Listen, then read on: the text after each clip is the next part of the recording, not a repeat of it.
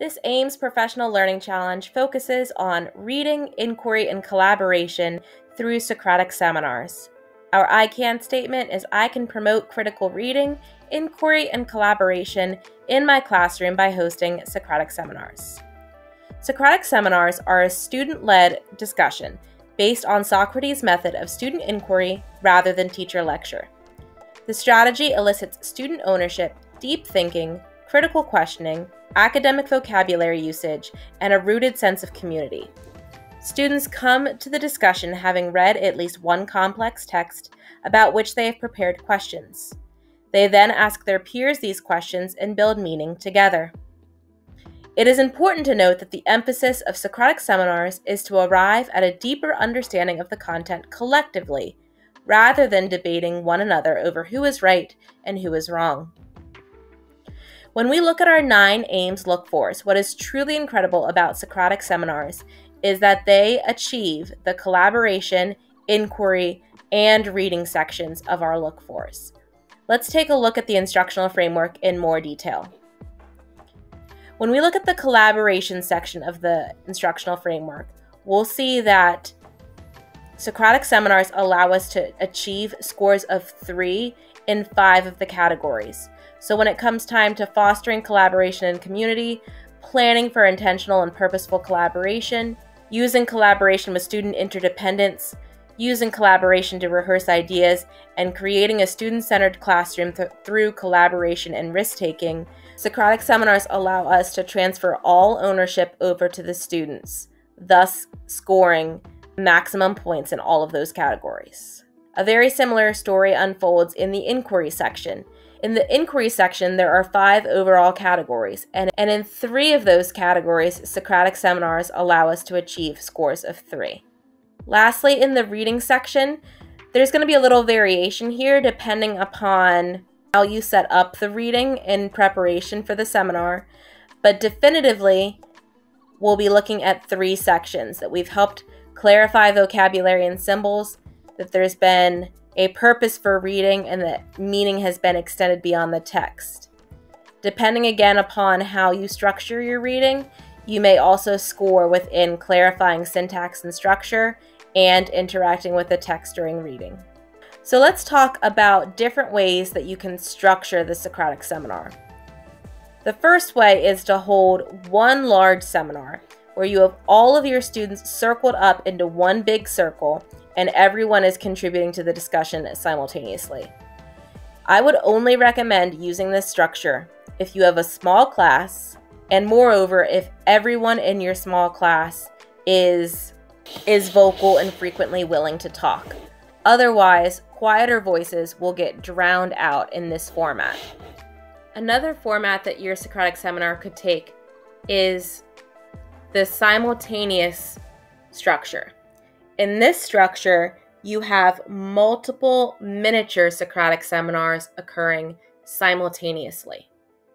This is not a structure that I have used before or that I have seen used before, in part because it's really difficult for the teacher to assess what is going on when there are so many conversations occurring simultaneously.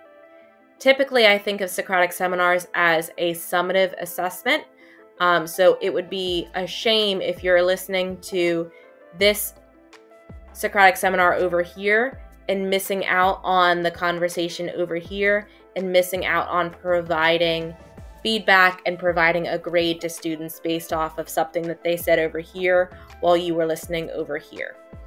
Uh, if you were to do a simultaneous Socratic seminar, I would picture it being more informal in nature, maybe just to have some class discussion before coming back together for another purpose. I would not do a simultaneous Socratic seminar as a summative assignment. Yet another structure that you could take is the inner outer circle method, where students in the inner circle are discussing the topic and they are paired with someone in the outer circle. Now, what the people in the outer circle are doing is they're taking notes on what the people on the inner circle are saying, and occasionally we'll pause the conversation so that the inner circle partner can talk with the outer circle partner and be coached on what they need to do better to contribute more meaningfully to the conversation. Sometimes, too, the inner circle and the outer circle will flip.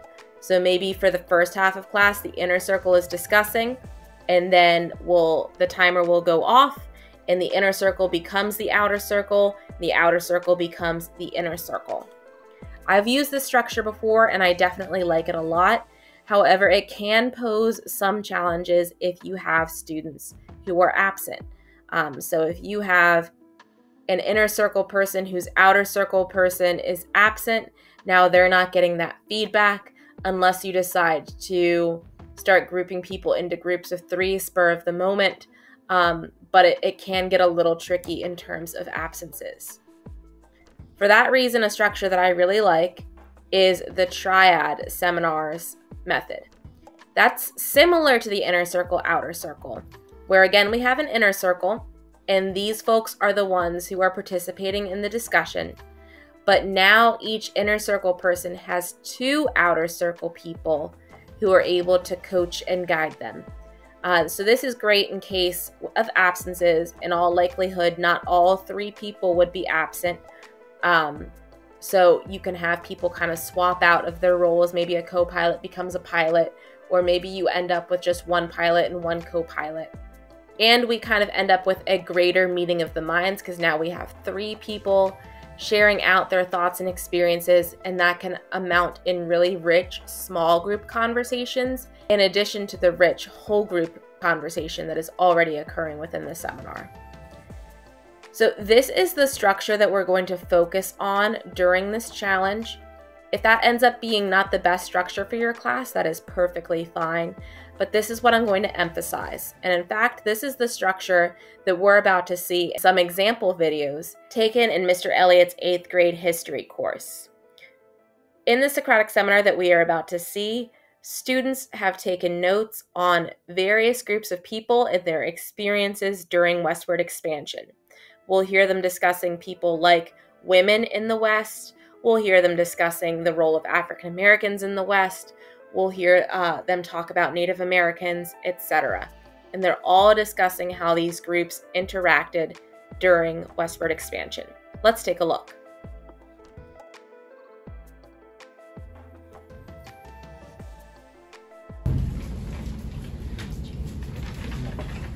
Um, saying, uh, going off of what was saying, uh, Andrew Jackson outlined the Indian removal policy. He wanted the American Indians to be removed because he thought of them as bloodthirsty savages, as uh, so he could expand and develop his people. Uh, adding on to what Devon said, argued, uh, Andrew Jackson said that Native Americans needed to leave or they would become slaves. cause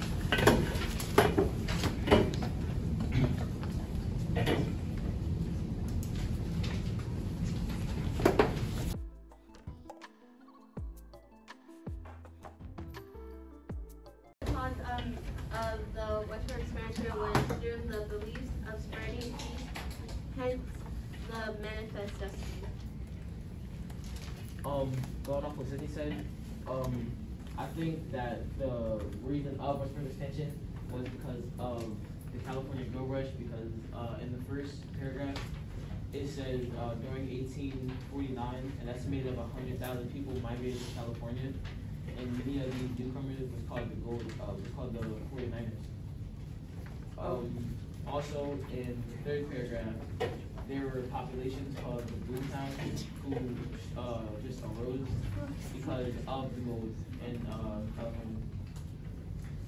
Um, I agree with Devon. Adding on to what he's saying, I also believe that not only was the California Gold Rush involved with westward expansion, but slavery was also a part of the westward expansion.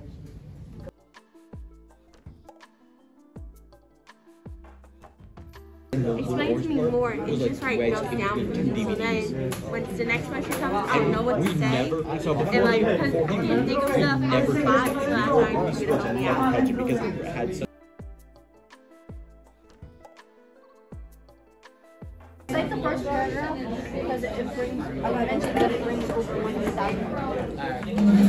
So someone says source, so if you're about to ask a question, say source one, and they say, they say source one, and like, they say source one, paragraph five, flip to source one so you can get more information. So let's just say source, um, source six, frontier women, in paragraph five. So then you flip over to paragraph six.